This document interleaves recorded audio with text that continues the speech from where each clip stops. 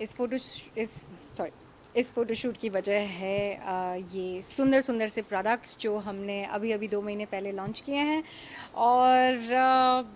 जब हमने लॉन्च करने की सोची थी तो ये इतनी नई चीज़ थी मेरे लिए मुझे नहीं पता था कि लोग इतना खूबसूरत तरीके से इसको एक्सेप्ट करेंगे ट्राई करेंगे।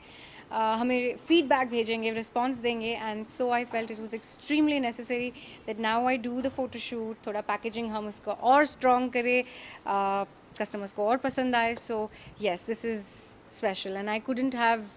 done it without Munna so yes और आपने उनको अपने हिसाब से नाम भी रखे तो वो आप डिस्क्राइब कर पाएँगे? हर आईलैश का जो नाम रखा गया है, वो उस औरत के पीछे रखा गया है जिन्होंने मुझे जीवन में प्रेरित किया है। और इसमें मेरी मदर आती हैं, मेरे दोस्त आते हैं इंडस्ट्री की ऐसी कंटेम्प्रेरीज़ हैं मेरी जिनके, जिन्होंने मुझे खूब प्रेरित किया है। और हर स्टाइल जो मैंने चुनी है, उनके नाम को कहीं ना कहीं रिप्रेजेंट करती है। सो इफ़ आई से ये मेरी मदर के पीछे है Munni so if you see this is really delicate has a natural flair और आप इसे कहीं पर भी पहन सकते हैं। फिर हमारी दोस्त जो है एबिगेल पांडे उनके पीछे आ, हमने ये स्टाइल रखी है जिसका नाम है एबी एंड पाइवेशियसी है कहीं पर भी ब्रंच में आप जाएँ कोई डेट पे जाएँ तो आप ये आई पहन सकते हैं। And then Moni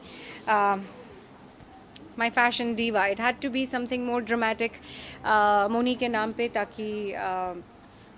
लोगों को इजीली ये समझ में आए कि अगर कोई ड्रामेटिक लुक उन्हें करनी है तो they have to choose more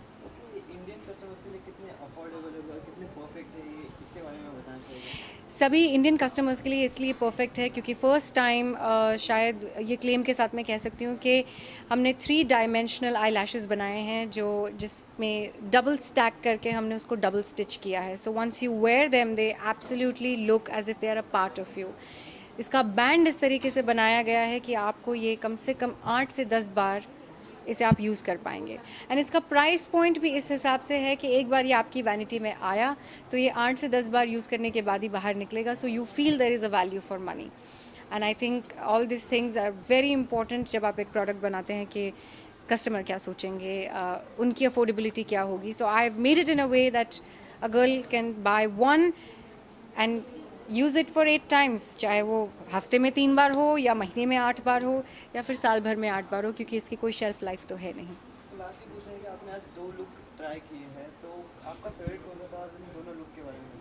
Uh, इसके पहले जो मैंने लुक किया था वो वो गाउन पवन और प्रणव के uh, जो डिज़ाइनर्स हैं उनकी तरफ़ से था और ये अर्चना जी की तरफ़ से है Archana Kochar. And uh,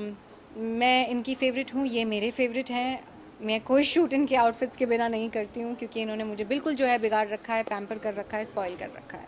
So thank you Archana ji and thank you Pawan and Pranav love you guys